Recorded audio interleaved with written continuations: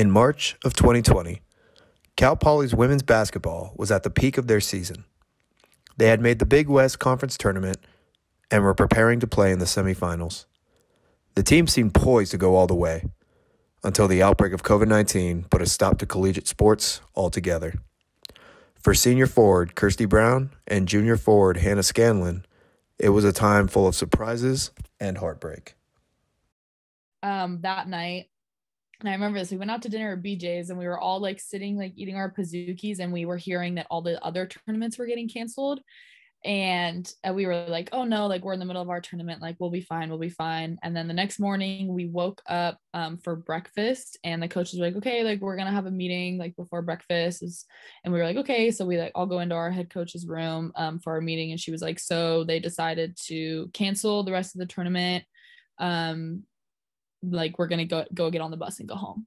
So it was very disappointing especially because we were doing so well at that point and we were having like our cinderella run as an eight seed you know like dominating over this these teams that had were higher seeds had beaten us during regular season um and to just like have everything finally coming together for us and then have it literally taken away like overnight was everyone was very sad. There were a lot of tears yeah, it was definitely frustrating for all of us because we were on a run and we believe that we could have kept going and potentially won the Big West Championship. But I definitely felt for all the seniors because they had no idea it was going to be their last game. Um, so that was kind of a tough way to to end their season and their last game forever. After the initial outbreak of the virus, campuses across the country abruptly stopped all ongoing sports seasons, postponed team activities, and closed campuses to combat the spread of COVID 19. Though campuses and facilities were closed, teams continued to meet and work as part of their off-season training via Zoom and other online formats. For the athletes, whether they were back in their home states or living off campus, the challenge now was to find ways to train despite the lack of equipment and coaching. I was in my in the apartments at PCV and I kind of had to like I was ordering like home the stretchy bands to kind of do like home workouts and just staying active around SLO, going on lots of hikes and kind of mostly just like working out at home or outdoors, but didn't really have much access to like real weights or like the gym. So that was kind of difficult to stay in like basketball shape.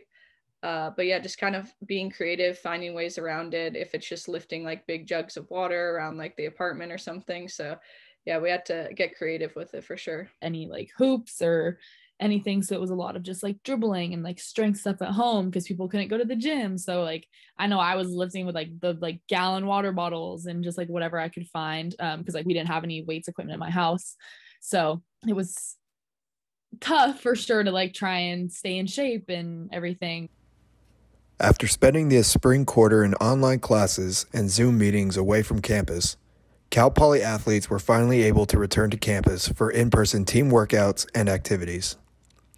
Though, despite the return to campus, COVID safety protocols required a change to the way teams practiced and worked together. The change was prominent for women's basketball and at times made it difficult to focus at the task at hand. One person at a hoop with one ball. The coaches like weren't allowed to rebound, do anything. Um, so it was pretty much just like, oh, you finally get to like shoot again. right. um, and then it was like that until October, and then October we were able to like go back into team practices. So in the fall, like before the season started, we started our spring workouts and they were definitely a lot different than we've ever done before. I remember our coaches literally had to wear plastic gloves because we couldn't all like touch the same basketball. So we all had our own individual ball. Our coaches were wearing plastic gloves that were like so gross and sweaty and we were all wearing masks even though half of us lived together. So it was a crazy time and at the same time we had no idea if we were even going to have a season. So it was kind of difficult to be working out every day not really knowing what was going to happen in the future because covid is so unpredictable. After going through the adversity and uncertainty of the offseason women's basketball finally received confirmation that they would in fact be playing in 2020 though the season would look different from past years as only coaches, players, and few media members were permitted to attend the games. Though the games became more secluded, players found positive change in the new normal for their season. Not having fans or the band there to like cheer us on was definitely a disadvantage, but it made our bench and our team step up even more and be there for our teammates. And we knew we had to cheer even louder and have great bench energy because we didn't have our fans or parents there to cheer us on. And the band is like a huge atmosphere changer as it is. So without that, we definitely all had to step up. It was definitely really weird at first, um, especially like at the home games because I mean, we love our band and they're the best band in the nation, in our opinion. So, like, not having them there was really weird, especially just, you know, when you're in like a really close game or like a really tough opponent. It's always nice to have those home fans.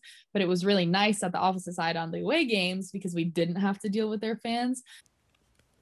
Through their 2020 season, Cal Poly's women's basketball battled through a hard fought 24 games and ended up going 13 and 11 earning a spot in the Big West Conference tournament for the second straight year. Despite the strenuous season brought on by the virus, the team felt accomplished after finishing the regular season and looking forward to the postseason. I see it as we've gotten a lot stronger as a team. Like we've been through a pandemic and played basketball during that. Not many people can say that.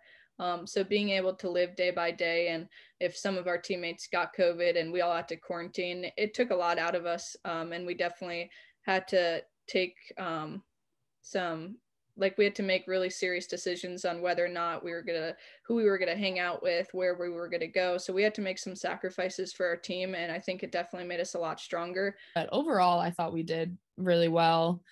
Um yeah i mean it was it was a tough season but we managed it and to make it all the way through and i think we were only shut down once or twice once because of our team, once because of another team.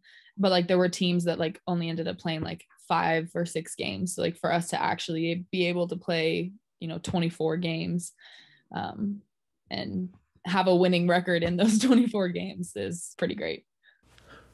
In the Big West Conference tournament in Las Vegas, Nevada, the Mustangs defeated Long Beach State in the quarterfinals, but would go on to lose to UC Irvine in the next round in the semifinals. Despite the exit in the tournament, the team had a lot to be proud of as their season came to a close. It was a tough game, you know. Obviously, they beat us twice in regular season, and we came out and hit them really hard in the first quarter, and then just kind of lost our way. Um, so definitely a really tough loss, a tough way to go out. But I mean, I'm proud of how we fought for the whole time till the last second of the game. I mean, we were I think we were down like 5 and we were still going as hard as we possibly could even though we knew um, with 3 seconds left down 5 or 7, it's very unlikely that you can turn that around and win it, but um yeah, I mean, I I'm proud of the team and I thought we did really well. So Looking back on the previous year, the team can look back with astonishment at the feats they were able to accomplish. Despite a devastating virus and a restricting pandemic, Cal Poly's women's basketball fought to compete in 2020 and successfully had a season. For the players, the season will be one that they can always look back on with gratitude. I think it's definitely made me stronger. It's made me appreciate basketball more. And going forward, I'm just always going to remember this. Knowing that we were very lucky to have that time and the resources that we had in a pandemic to be able to complete that season. Um, I think everyone definitely felt very, very blessed, very lucky.